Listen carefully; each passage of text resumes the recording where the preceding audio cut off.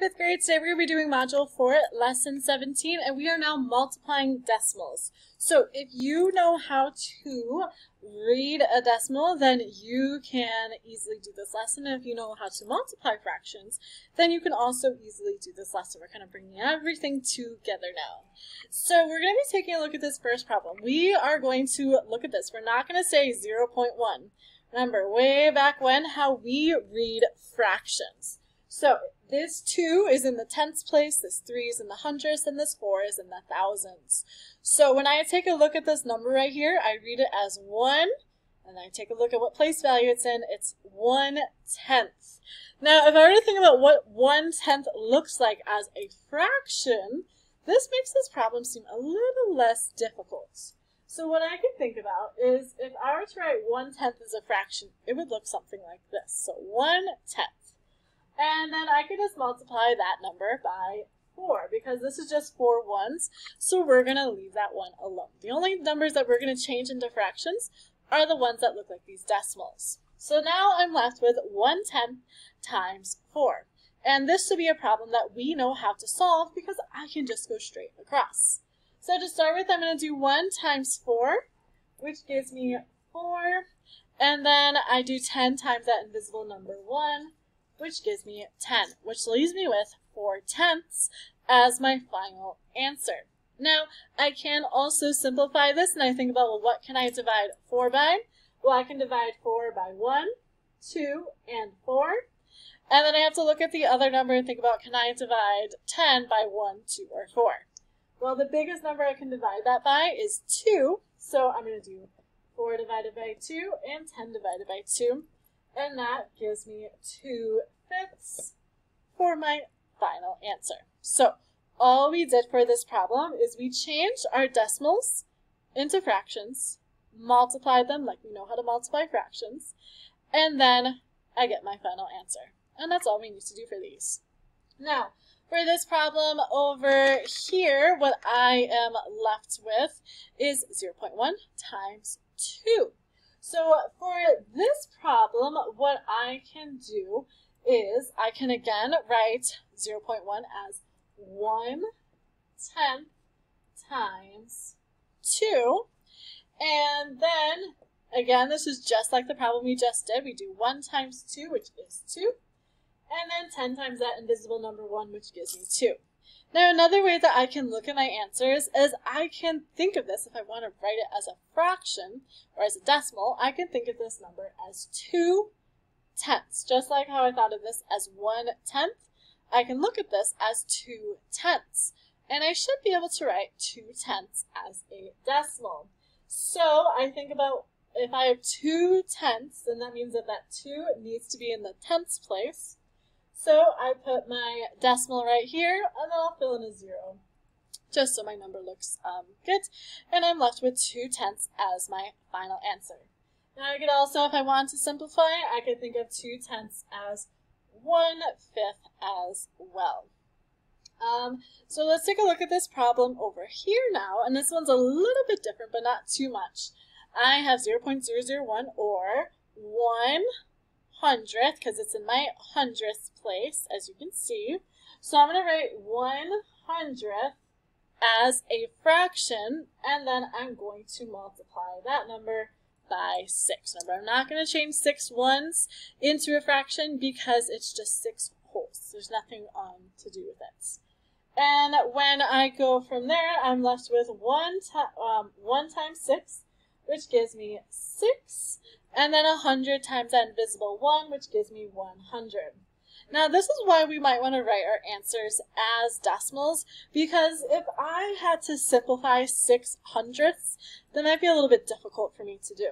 So, when I say that number 6 hundredths, what I want to think about then is I want that 6 in my hundredths place, so what do I need to put around this number so that it is in the hundredths place?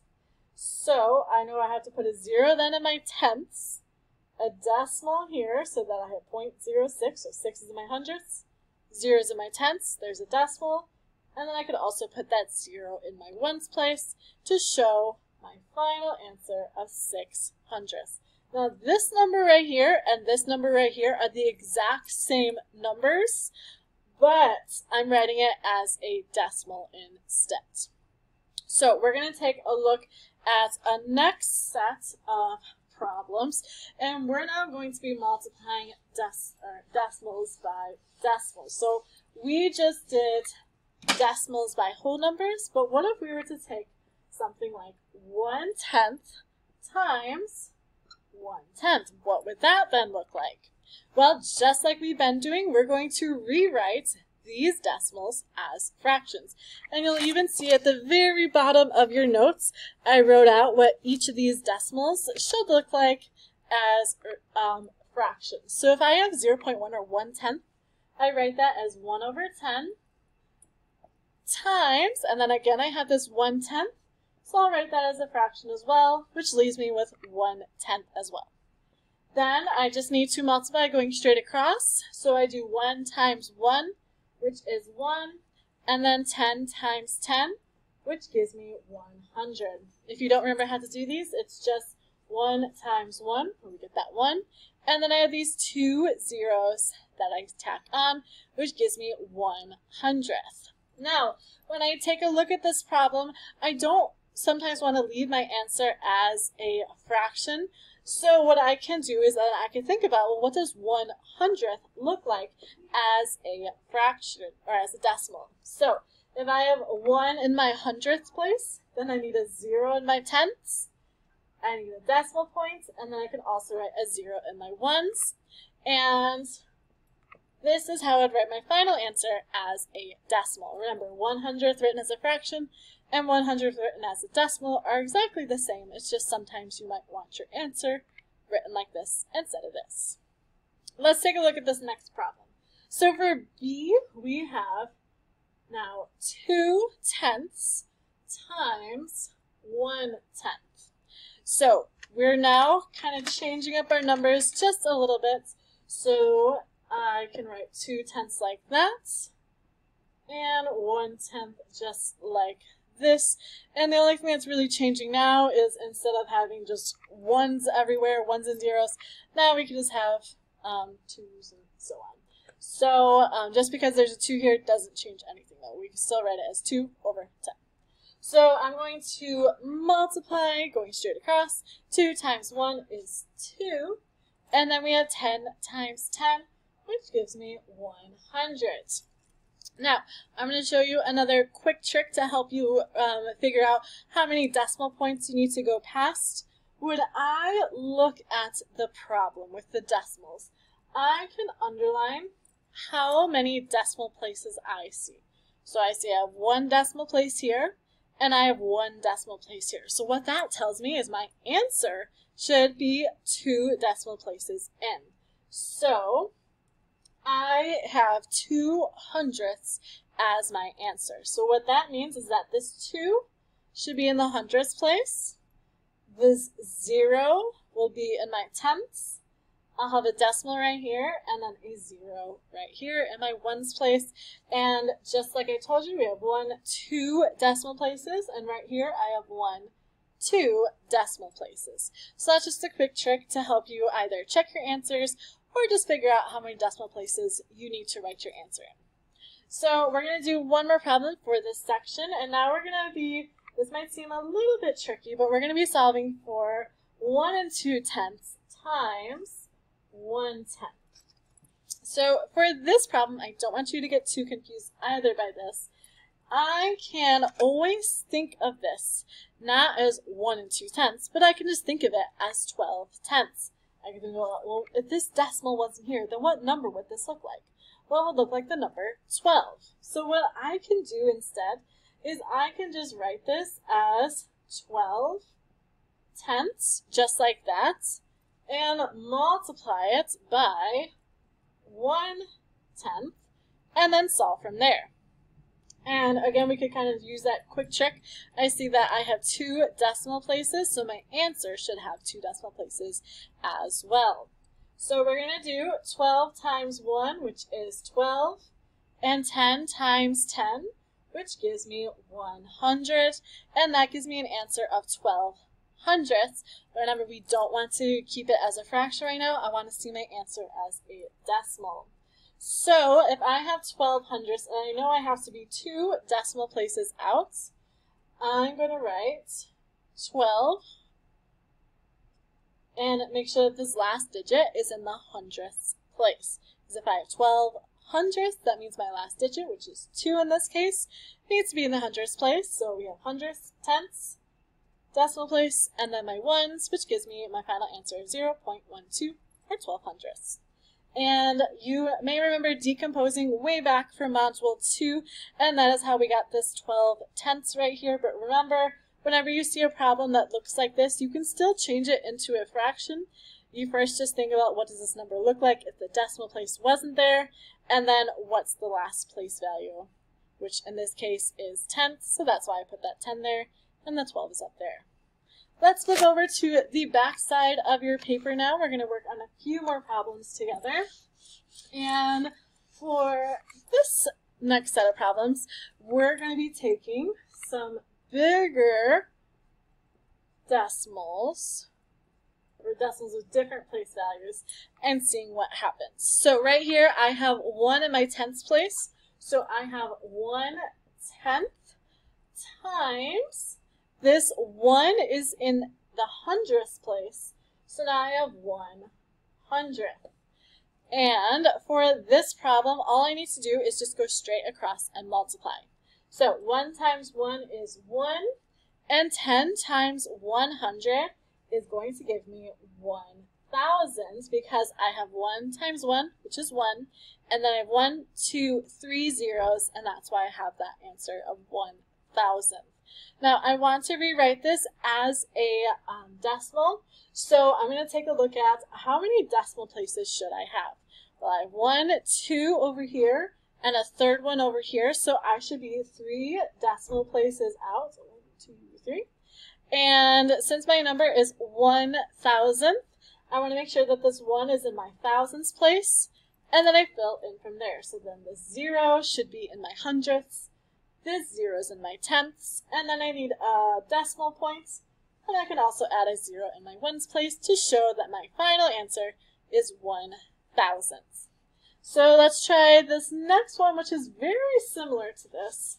It's just that we are changing one tenth to five tenths. And you might even know what we need to do from here.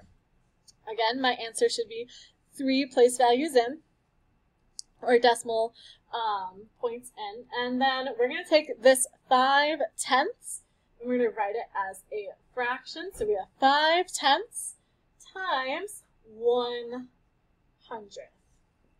And going straight across and multiplying, we're going to do 5 times 1, which is 5, and then 10 times 100, which also again equals 1,000. But now what I have, instead of just 1,000, I have five thousandths.